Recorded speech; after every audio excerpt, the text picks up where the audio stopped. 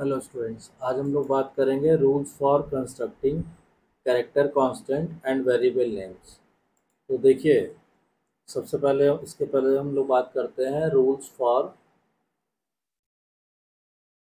constructing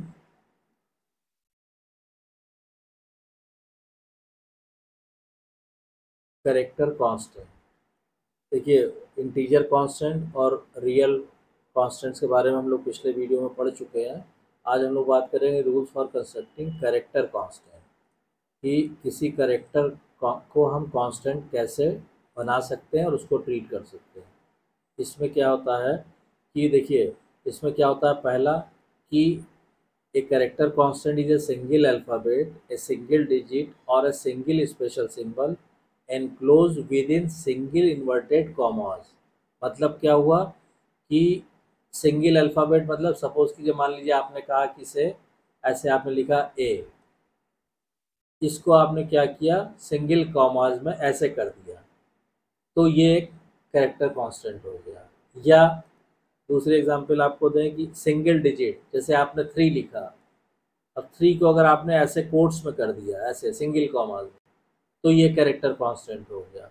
या कोई special symbol है, मान लीजिए।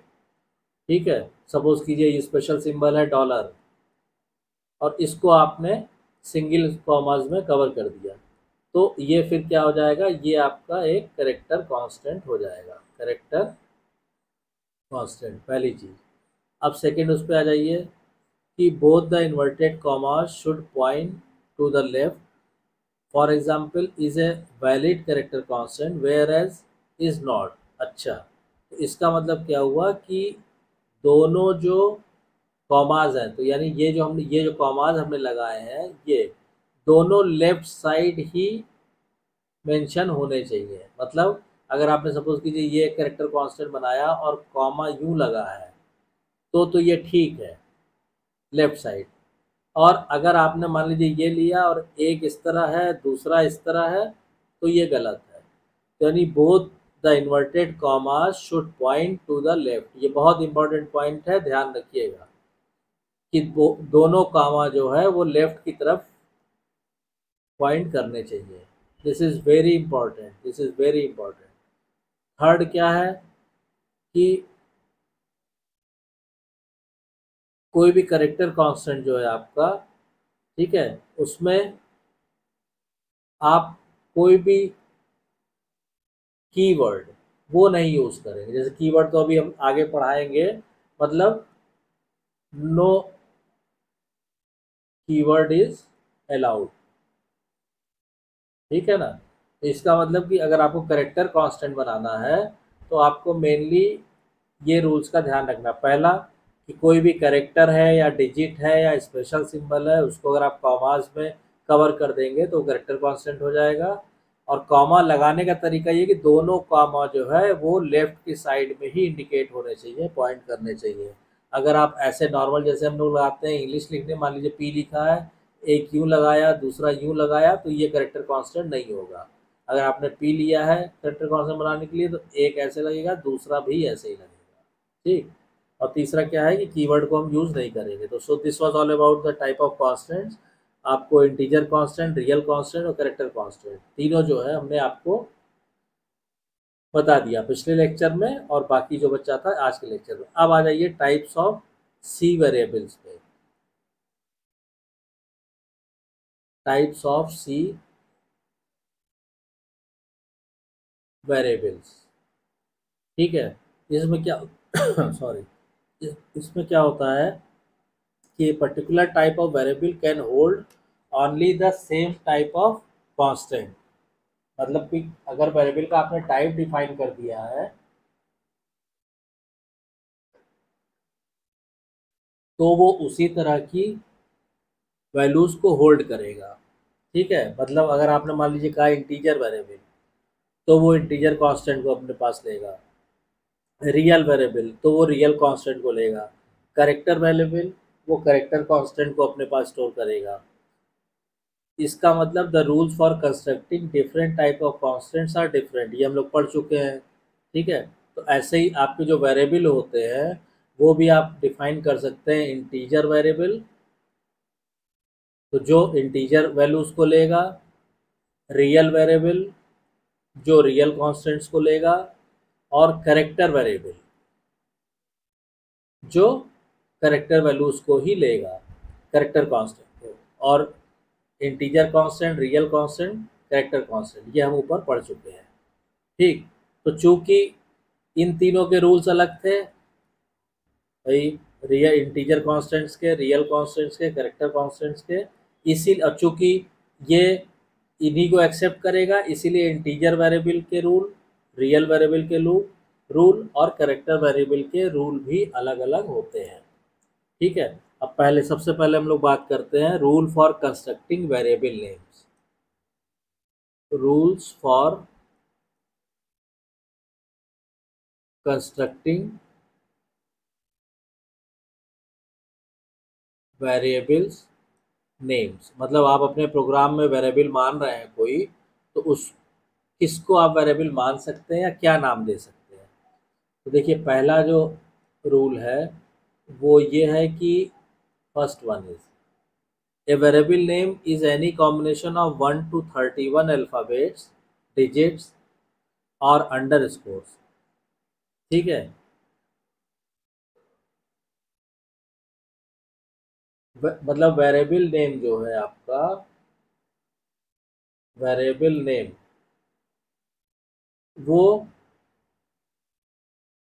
कोई भी कॉम्बिनेशन हो सकता है, एक से लेकर इकतीस अल्फ़ाबेट्स का डिजिट्स का और अंडरस्कोर का। यानी कि एक से इकतीस कॉम्बिनेशन हो सकता है alphabet digits and underscore इनका यूज़ करके आप वेरिएबल बना सकते हैं, ठीक? सेकेंडली क्या कर रहा है कि कुछ कंपाइलर जो है अलाउ करते हैं variable names whose length could be up to 247 character still it would be safer to stick to the rule of 31 character मतलब कुछ कंपाइलर जो है वेरिएबल लेंथ वेरिएबल नाम की जो लेंथ है वेरिएबल नेम है, वो अप टू 247 करेक्टर तक भी अलाउ करते हैं, लेकिन मान लीजिए आपने एक कंपाइलर पर इस्तेमाल किया, अपना प्रोग्राम रन कराया, सब कुछ बढ़िया चल रहा है, दूसरे पे कराया, नहीं कर रहा है तो इससे अच्छा है सेफर वो क्या है कि आप इसकी लेंथ एक से लेकर और इकतीस तक ही रखिए। इसकी जो वेरिएबल की वेरिएबल नेम की जो लेंथ है, वो एक करेक्टर से लेकर और इकतीस तक ही रखिए, इसके बाहर ना जाइए, ठीक। अब उसके बाद क्या होता है कि एक सिंपल कन्वेंशन जो है, कोई रूल तो नहीं है, लेकिन कन्वेंशन ये है कि वेरिएबल नेम हमेशा छोटे से छोटा रखा जाता है। ज़्यादा बड़ा आप वेरिएबल नेम रखेंगे तो अननेसेसरी उसमें टाइपिंग एरर होने के चांसेस रहते हैं। इसलिए जितने छोटे, जितने कम लेटर्स में काम हो जाए, उतना ही बड़ा वेरिएबल नेम रखा जाता है। पहला रूल तो ये हो गया। दूसरा क्या है कि the first character in the variable name must be an alphabet और अंडर तो जो पहला करेक्टर है first character in a variable name वो क्या होना चाहिए? वो या तो अल्फ़ाबेट हो मतलब डिजिट नहीं हो सकता है। अल्फ़ाबेट हो या अंडर स्कोर हो। डिजिट ये नहीं कि आपने मान लीजिए कोई वेरिएबल आप, आपने नेम बनाया कि ऐसे one A G this is a variable name ये गलत हो जाएगा। वन शुरू, बीच में हो सकता है। आपने ए वन जी बनाया, ये हो सकता है। आपने अंडर स्कोर ए जी बनाया, ये हो सकता है। लेकिन डिजिट शुरू में नहीं हो सकता, ये ध्यान रखिएगा। सेकेंड क्या कह रहा है? थर्ड नो कॉमाज और blanks are allowed within a variable name अब मान लीजिए आपने कोई वेरेबल नेम इस तरह बनाया, जैसे हमने हमने कहा कि से क्लास स्टूडेंट ठीक है? उसको हमें रिफ़र करना, हमने कहा कि ऐसे बना दिया हमने, से सी एल ए और फिर स्पेस दे दिया स्टूडेंट ऐसे। या हमने बना दिया C L A, comma student. तो ना तो ये स्पेस अलाउ है वेरिएबल नेम में, ना ये कॉमा अलाउ है। अंडर स्कोर अलाउ होता है। ठीक है? यानी अगर इसको आप ऐसे बनाएँगे C L A underscore student तो ये तो एक्सेप्टेबल है, लेकिन ये दोनों एक्सेप्टेबल नहीं है। ठीक है? तो इसीलिए कहते हैं कि no commas are blanks are allowed in variable name अब उसके बाद नेक्स्ट आप आ जाइए। नेक्स्ट रूल पे फोर्थ पॉइंट हो गया। No special symbol other than underscore can be use in variable name ये हमने शुरू में बताया था कि वेरिएबल नेम में अंडर स्कोर के अलावा कोई और स्पेशल सिंबल जैसे डॉलर हो गया हैश हो गया एट द रेट हो गया greater than sign less than sign exclamatory sign तमाम है स्पेशल सिंबल तो अंडर स्कोर के अलावा और कोई अलाउ नहीं होता है। ठीक है? Only underscore is allowed in special symbol ठीक? अब कुछ एग्ज़ाम्पल अगर हम लोग बात करें वेरिएबल नेम की तो देखिए, जैसे हमने कहा, इसे सपोज़ कीजिए S I underscore I N T ये ठीक है। हमने कहा M dot H R A ये सॉरी अंडर स्कोर ये भी ठीक है। हमने कहा pop underscore E underscore eight nine ये भी ठीक है। तो इस तरह से आप डिफरेंट वेरिएबल्स के नेम को डिज़ाइन कर सकते हैं।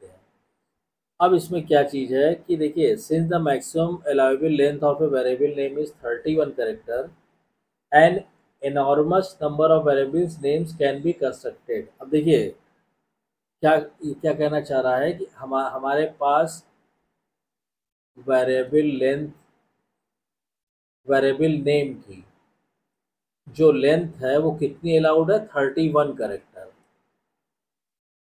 इसका मतलब ठीक है, कि आप इनके डिफरेंट परमुटेशन कॉम्बिनेशन से आप इतने ज़्यादा वेरिएबल नेम डिज़ाइन कर सकते हैं, कोई प्रॉब्लम नहीं आएगी। क्लियर लेकिन जनरली क्या होता है, अब देखिए कोई रूल नहीं है, लेकिन जनरली अभी आपको प्रोग्रामिंग पॉइंट ऑफ़ व्यू से बता रहा है जनरली जो वेरिएबल नेम रखा जाता है it is a good practice to exploit this abundant choice in naming variables by using meaningful variable names.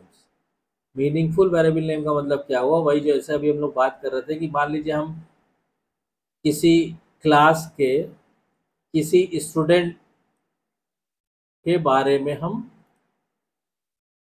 Refer करना चाह रहे हैं। ठीक है? तो हम अगर रेलिवेंट अब वैसे तो आप कहेंगे, सर, हम इसको ए अंडर स्कोर बी बना लें हाँ ठीक है। आप कहेंगे, सर, हम ए बी बना लें तो भी ठीक है वेरिएबल नेम। आप कहेंगे, सर, हम इसको जेड वाई बना लें तो भी ठीक है। लेकिन एक अच्छा जो प्रोग्रामर होता है, वो हमेशा जिसको, जिस, उस वेरिएबल से जिसको हम रिप्रेजेंट कर रहे हैं, उससे रेलिवेंट नेम ही रखता है। जैसे क्लास स्टूडेंट अब या तो आप, आपने कहा कि, सर, ऐसे बना लें, sir class underscore student तो देखिए टेक्निकली तो ये सही है, कोई एरर नहीं आएगी, लेकिन इतने बड़े वेरिएबल नेम नहीं रखे जाते हैं, जब रखेंगे कोई दिक्कत नहीं है।